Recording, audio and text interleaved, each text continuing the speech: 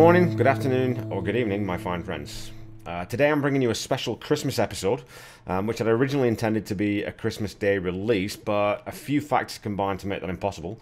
Mainly just running out of time with um, Christmas and family and whatnot. Um, so I'm releasing this for you today. Uh, this episode talks about the fantastic documentary Somewhere You Feel Free, the making of Wildflowers. Um, and I thought that I'd switch things up a little with this episode and go off script, more or less. So uh, what I did was I sat down, watched the documentary again, and jotted down some notes. And what I'm going to do is talk through those notes. I'll, I'll, sort of I've got my notepad here. I'll look through those notes um, and, and talk about what I wrote down and anything else that comes to mind. And hopefully you enjoy that change of gears just for this one off. Um, I'm also recording the video for this one. So if you want to watch me talk about this, it will be on YouTube. Um, and the last thing is I'm not going to edit this. I'm just going to leave it as is because usually I edit out all my clicks and that and, and redos. If I have to redo anything, I'll go through it and you'll see it, what's and all. Um, before we start, though, uh, massive props to Mary Wharton, who directed the film, and I'd really love to get her on the podcast at some point to talk about the, the process of putting this together. Um, as I'm sure there's just a ton of sort of uh, things that we didn't see in the final thing, um, and, and sort of try to pick her brain about how she chose which footage to use and how to sort of knit that together into something that's so cohesive and so emotional and, and connective with Tom Petty fans and with the music, um, and bringing that album together uh, to life in a in a unique way. So anyway, let's get into the doc and my notes. Before we start, though, I should say, look at my face. If you see, uh, I went for an 11 km run today, and you can see here I've got a little bit of frost nip because it's minus 26 here in Saskatoon, and uh, oh, I just leaned away from the mic there.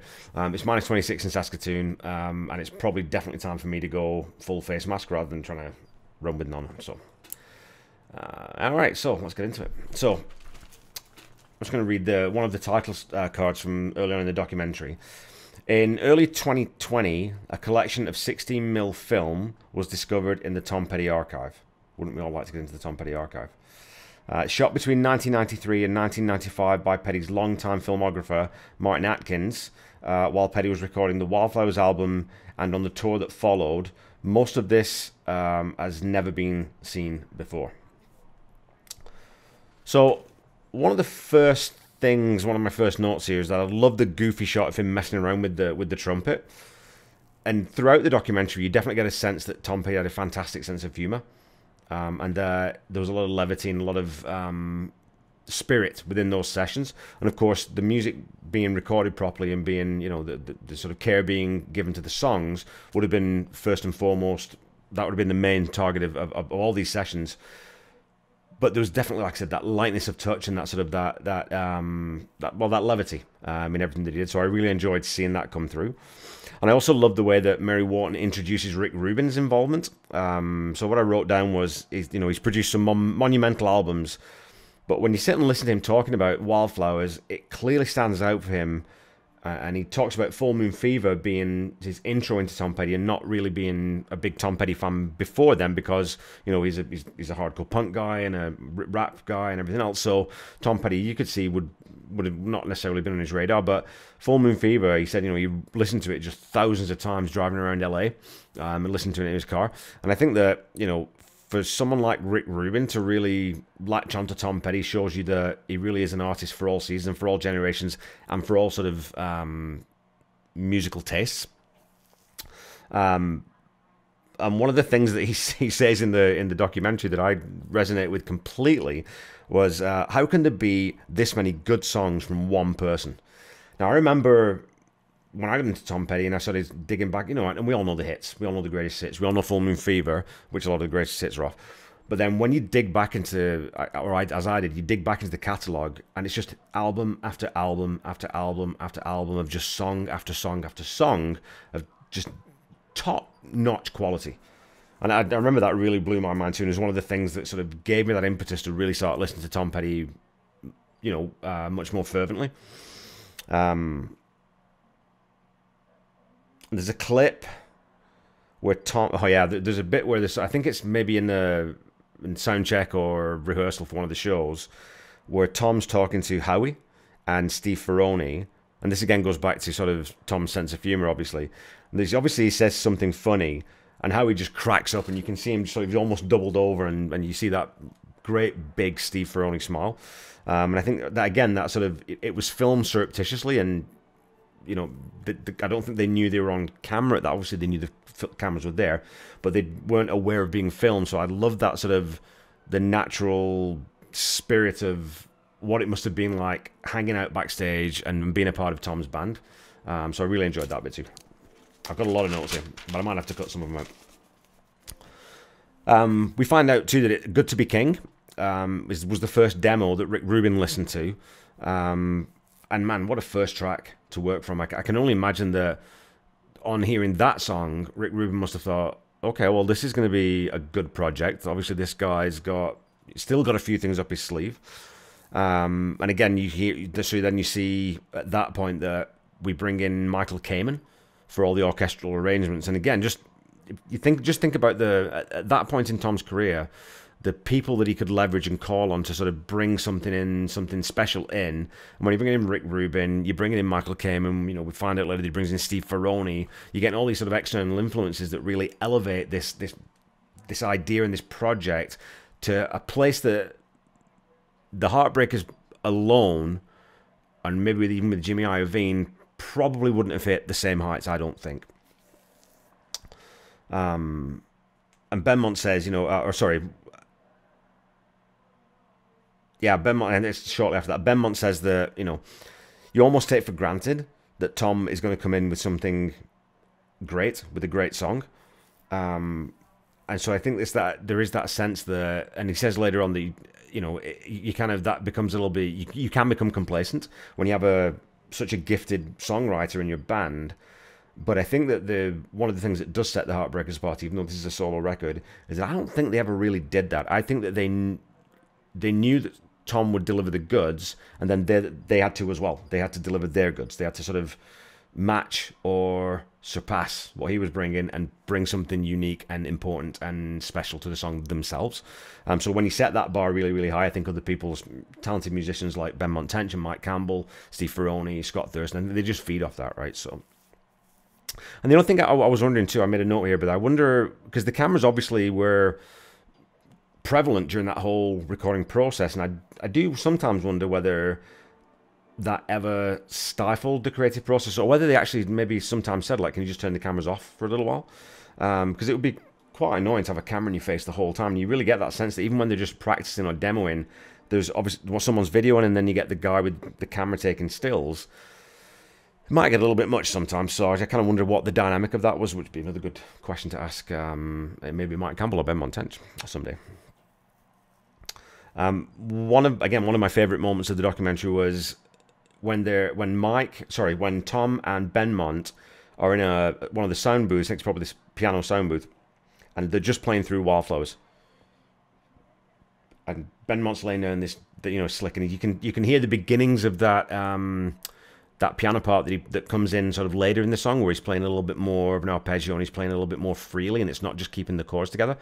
Um, with tom sitting there playing the acoustic guitar and singing the vocals over top it's just I, I, love those moments of watching a band play together. Even just two play two two people or three people in a band playing together and figuring out a song and just playing through it. I, I always enjoy watching those types of things.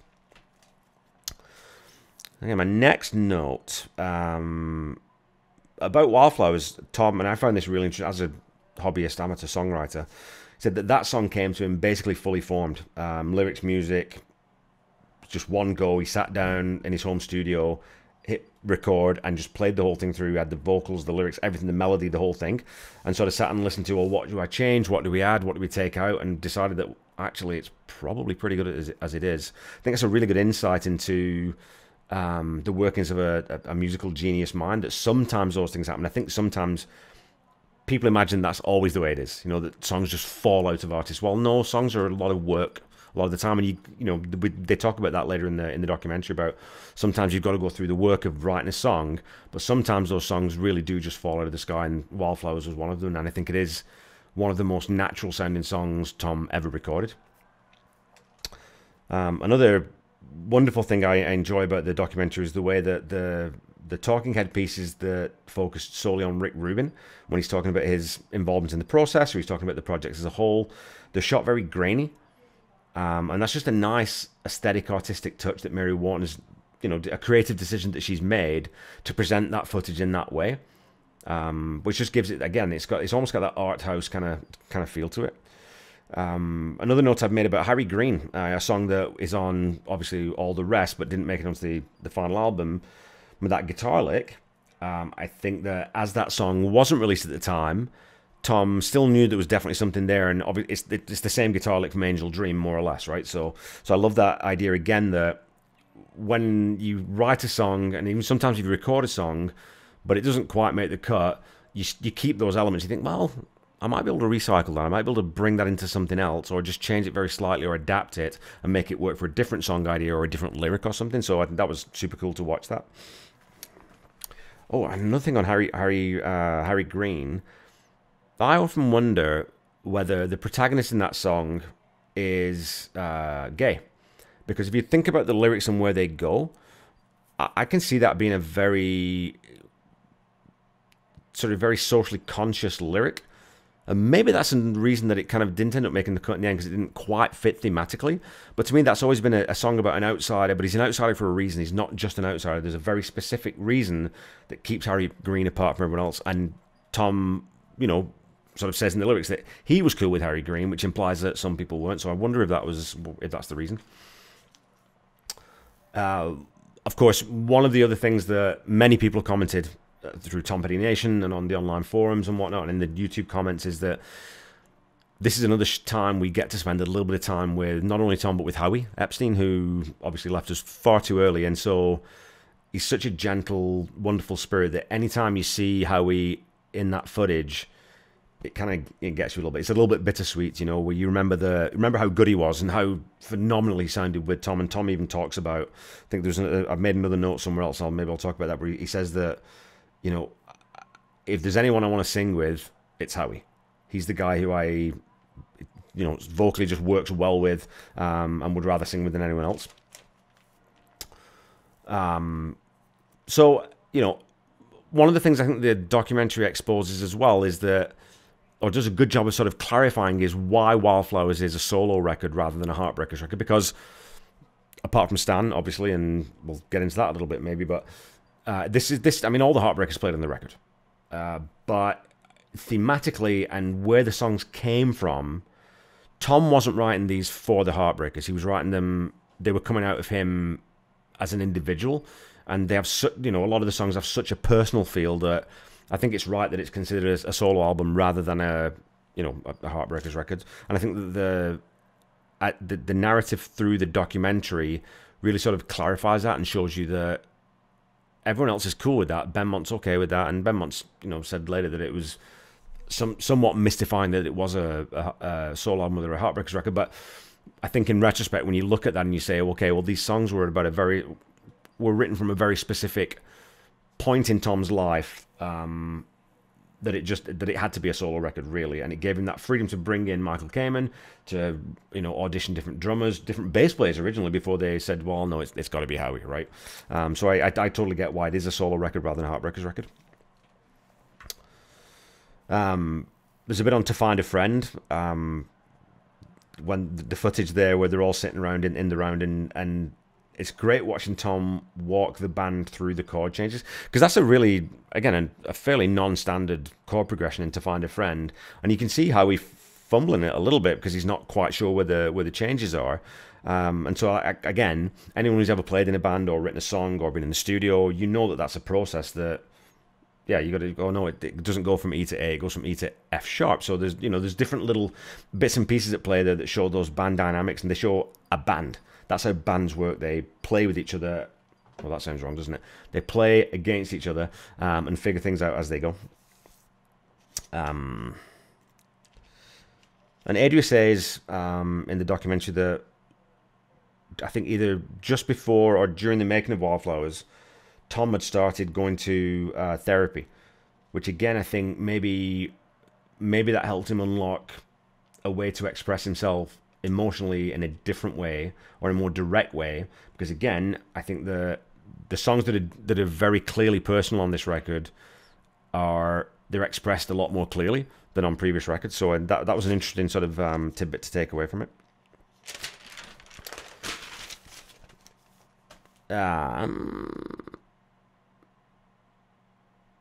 so they talk about too. I mean, obviously the the, the situation with Stan, um, and Stan had to leave, but then they did the two songs for Greatest Hits.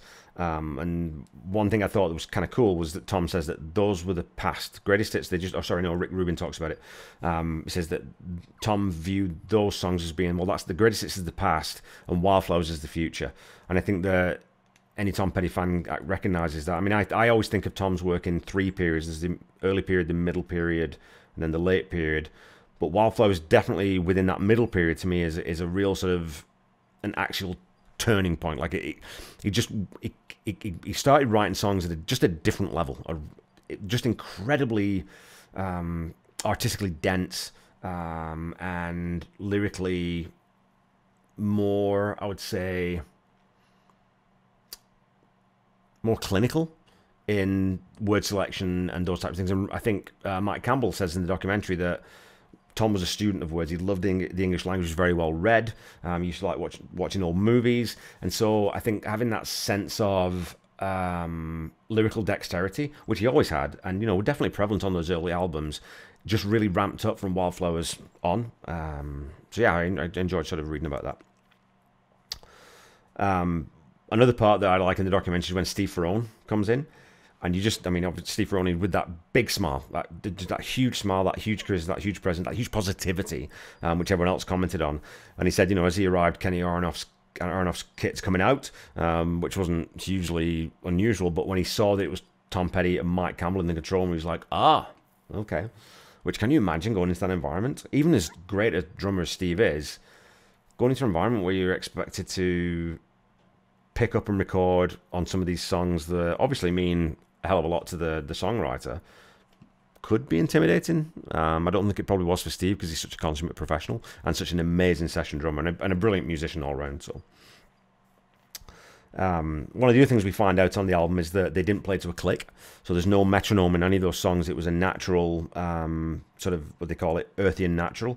Uh, no clicks, no drum machines, and so uh, on a few of the songs they say that you know Steve would just play hi hat and they would play along to that. And of course, Steve Ferrone's got great timing, great rhythm, um, but they'll play along to that, and so you do get that human feel to it, um, which you know, in juxtaposition to the stuff that Jeff Lynne did, which is very produced and it's very and they're great records um, and great great pop songs, but they're it's a little bit different. You just get a different feel from that. Um, and again, through the documentary, you do get the sense that the process of making the album was it as important to everyone, especially to Tom. It was as important as the output. Um, and he, you know, Rick Rubin says, I enjoyed our time in the studio every single day. Um, which, again, you, you probably should, right? I mean, if you're going to create something, everyone should be relaxed. Everyone should be having a good time, hopefully. And Mike talks about, you know, uh, trying to make every song the best song that they ever wrote, which is such a cool way to approach making music. You're not going to, let's just get 10 tracks down and you know that some of them are going to be killer. You know that some are maybe going to be a little bit of filler. Tom Petty never approached things that way. Let's let's do make this song, the song that we're recording today, or the song that we're working on right now, make it the best damn song that we've ever recorded. And again, that's it's it's hard to argue with the the outcome of the sessions because Wildflowers is it's probably it is my favorite album of all time. I would say so. Um, and Benmont says, you know, um, we're trying to do what we always did to do it really well. And he says that if you black out while I think I can't remember which track he was talking about. Um, crawling back to you, I think. He says if you black out while playing the track, you know, and you're stone cold sober, that's a very good sign because it means you're inside the music. I think any again any musician will, will know that if you play a song and you don't remember playing the song, that's a pretty good thing. As long as you did it well.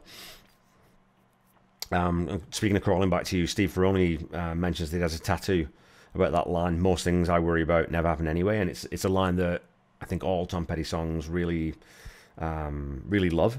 Um, and I think that that whole the whole lyric of that song is just otherworldly. It's, it's such a superb piece of craftsmanship and, and artistry. Um, where are we at now? I was talking about the yeah. I made a note that the as a music nerd, one of the things I love most about the documentary is the the band jams. Again, just when you see two or three or four or five people sitting in a room playing music together and looking at each other and watching for cues and, and waiting for things to happen and or someone even just saying well this is the key change or whatever it is i really enjoy those because it just shows that songs again as i said earlier songs don't fall out of the sky they're created they're crafted and they have to be honed and polished and made to work by a group of very very talented musicians you know and we all know that Wildflowers was originally intended to be a double album, essentially, and we got that eventually with Wildflowers and all the rest. Um, but it comes out that Tom always had final say on sequencing, um, but kind of got scared off a little bit by the record company saying, "No, I don't think a double album can sell."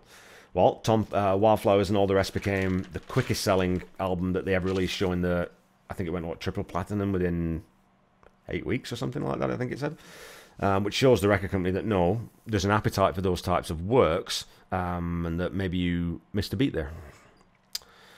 Um, I think one of the, the sort of the one of the overall notes that was left quite late in the documentary that sort of sums things up was when Tom says that he wasn't in any hurry to finish it.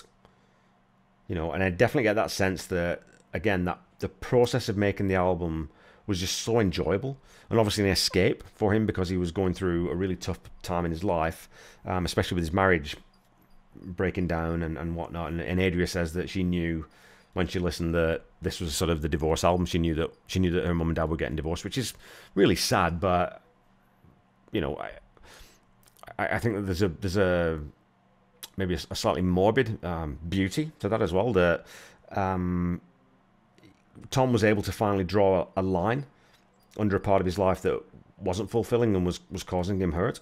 Um, and so to be able to do get out of that and get into the studio, create something so beautiful, even in the midst of um, sort of the, one of the darkest periods in his life, kind of reminds me a little bit about of, of Beethoven, you know, and some of the stuff that he wrote in his later years, despite the fact that he was almost completely deaf, um, completely broke, in immense pain through different um, uh, physical ailments. But to still be able to create things of beauty, that shows, I think, that you know artists of that caliber, and I, you know, I'd put Tom Petty at that same level, um, are able able of uh, sorry capable of creating. So, um, and it's yeah that oh, I can't remember who said this. Rick Rubin, I think it, it, it it's the, the the the album has a diary like aspect um, in that it reflects a point in an artist's life um, that you can't ever get back again, right? So you can write great songs, you can write great albums, but if you can really sort of channel who you are at that point, then it just elevates it to something completely different. Um, my last notes would be the, I think it was, yeah. So I, I've made an argument before on social media that I think Wildflowers might be the last truly great album that's been made by a, you know, a, I say mainstream, but a, like a, a major recording artist. I can't really think of anything quickly that surpasses it, and not too many things that match it um, since it was released. Um, because it's a perfect selection of 15 songs, and of course, obviously, the, all the rest are also some fantastics. Harry Green and California and um, 13 Days and all the you know all these tracks. Well, 13 Days ended up in She's the One, but um, I just think that it's it's in every way, in every way, a perfect album.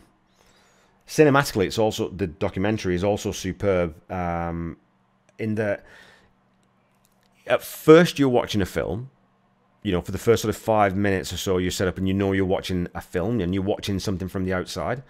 But the way that it's put together, you're gradually you're sucked into the room more and more and more and more, where you really feel just like a fly on the wall watching this thing come to life. Um, the aesthetic is managed beautifully, um, so you get this art piece, um, but you also get Tom back again for 90 minutes, and we get Howie back a little bit, you know, and, and so there's that sort of emotional, uh, sentimental connection to the documentary that makes it just again just a, spe- a special, special experience. Um, and the last thing that I really sort of the last note I've made here is that it it is a memoir. It's not a it's not a musical biography. We had that already with Running Down a Dream, where we chronicle Tom's early life and his progression through the Heartbreakers and, and blah blah blah blah blah really, this is about a very singular point in his life and about one album that meant an incredible amount to Tom and means an incredible amount to most of Tom's fans. And I think that most um, petty heads would say that this is in the top two or three albums he ever recorded. I can't imagine anyone saying that it isn't. Um, so yeah.